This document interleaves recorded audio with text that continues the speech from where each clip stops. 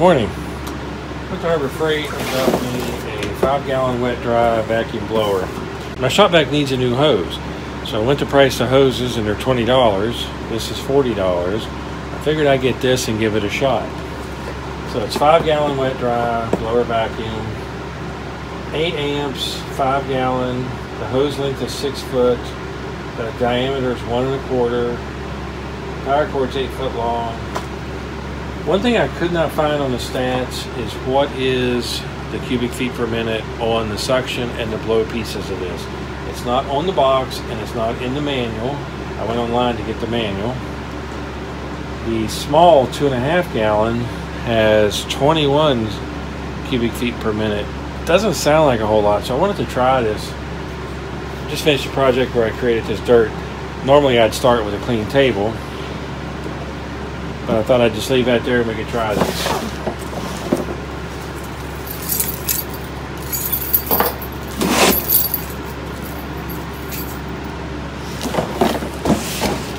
So what's inside?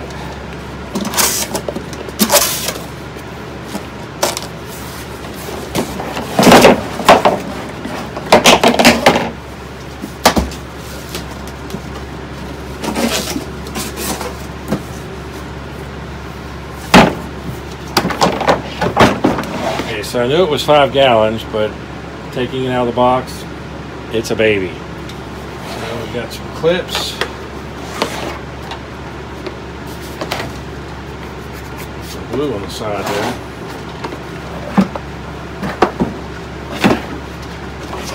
Uses a bag filter. Here is the cord. I was hoping it would be the same size as the big Shop vac, but it's not. That's just a pressure fit.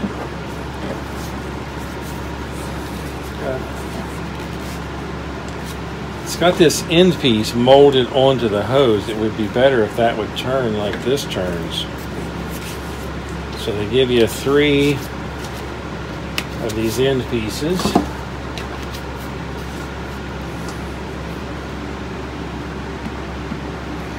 Course, very seldom do I ever use end pieces.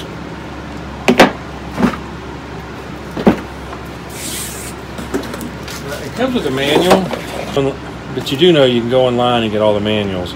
This is copyright 2014, so this is a relatively new device. You go online and get all the manuals. I always look at the manuals before I buy it. It's got some wheels and some pickup attachments. I actually plan to use this for one thing, and that is dust collection. I thought about buying one of these for each device, like one for the table saw, one for the bandsaw, one for the drill press, and one for the sanders. We'll see how that goes after I use this one for a little bit. These are pretty simple to put together, and they have screws somewhere because they come off. So I got me a little stubby screwdriver.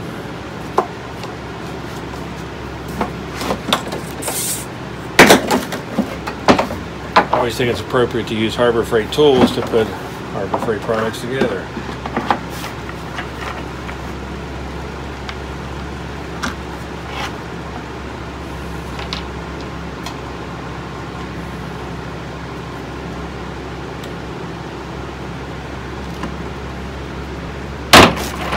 I think it would be impossible to use this for dust collection on a table saw because it's only five gallons.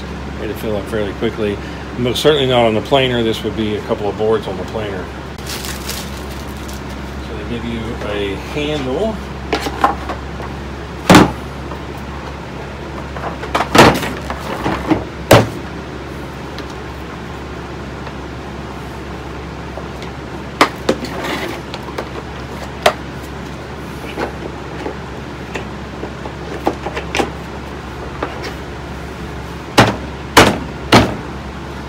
That is a friction fit, but it'll come off.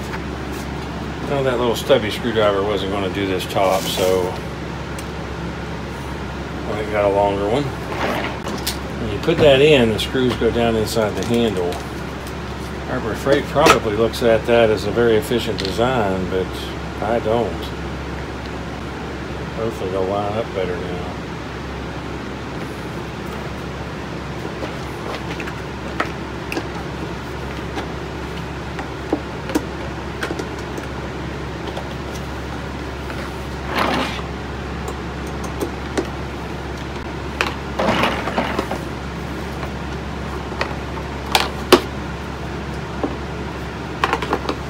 Okay, so the handle's in.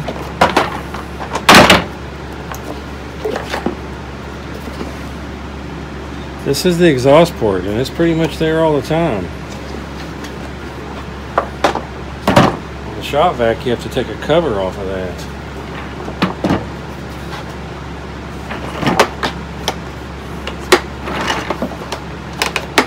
Okay, so pretty much ready to rock right now. Here's a wind up for the cord.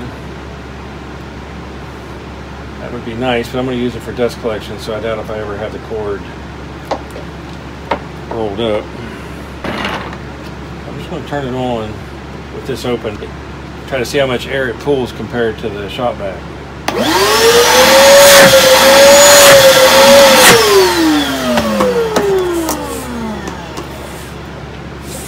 See, I'm pretty happy with that.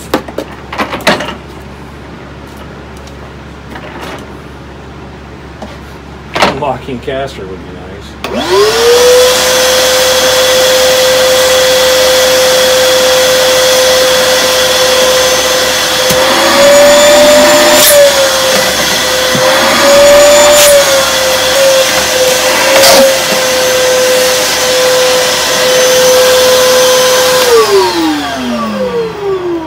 Okay, so not that loud.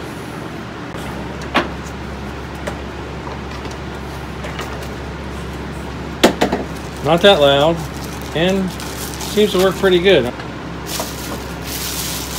Pretty sure on the. I'd like to get the spec on this to see what uh, CFM it'll move either in the exhaust port and the intake port. I seem to remember on the shop vac it was about 510. Of course, that's 12 horsepower, and this one doesn't really give horsepower.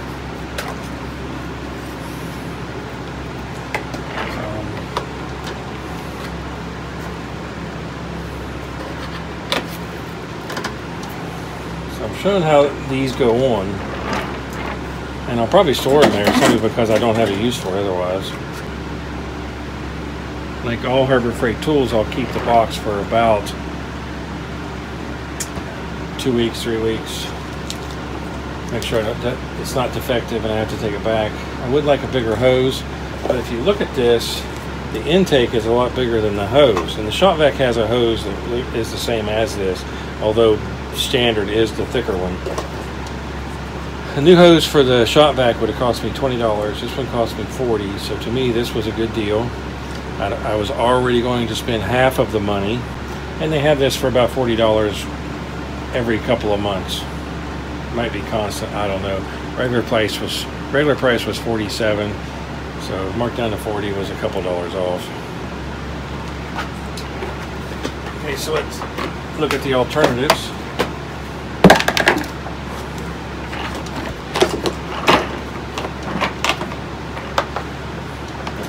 By default, it has this cloth bag that goes over it.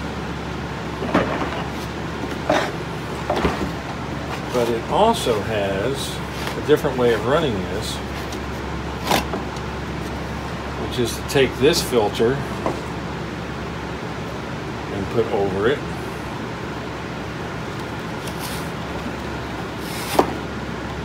Wow, I tore that putting it on.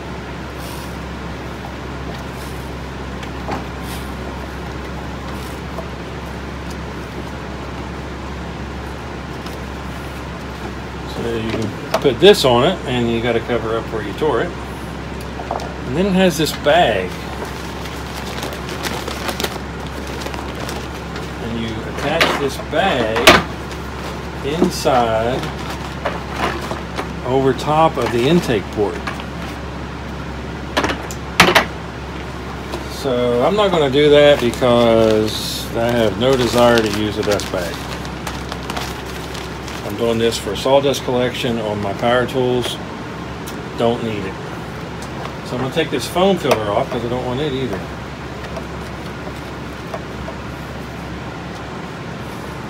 I used to have the shop vacs, the, early, the older shop vacs had a filter that went over top of this and it looked kind of like a corrugated filter. Nowadays I think most of them are switching to these bags, which I'm perfectly okay with. I think they do a good job. And they might be more cost effective than the filters.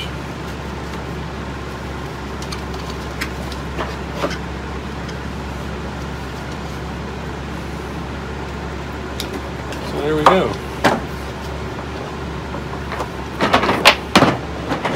I showed the option with the foam filter and the bag, and I have no desire to use those.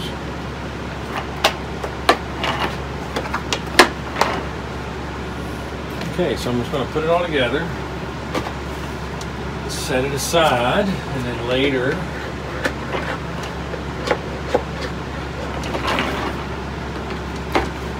do a later video that shows how I've hooked it up as a dust collector. I think this one is probably going to go on the bandsaw. Probably going to have to find a way to adapt this 2-inch port to the 4-inch port on the bandsaw, not use the 2-inch hose.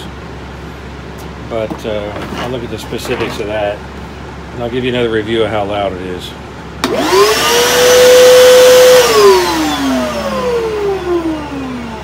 For comparison, let's try the Big Shop vac.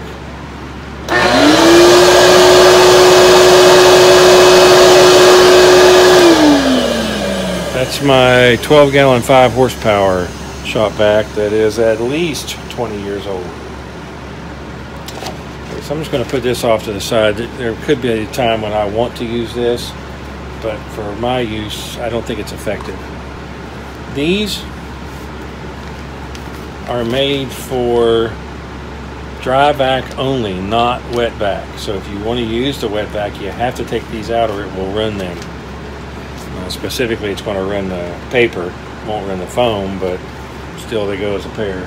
So here's your $40 wet dry vac, uh, substitute for a shop vac. I think for $40, this is a good deal.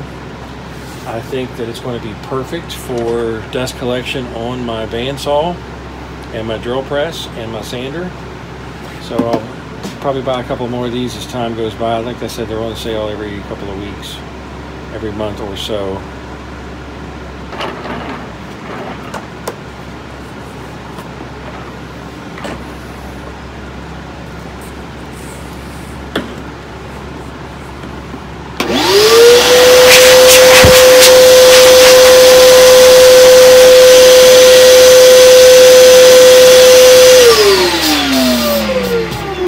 kind of hard to compare suction to blow, but to me, the suction's more effective than the blow. Of course, I don't have a use for the blow, so it doesn't matter.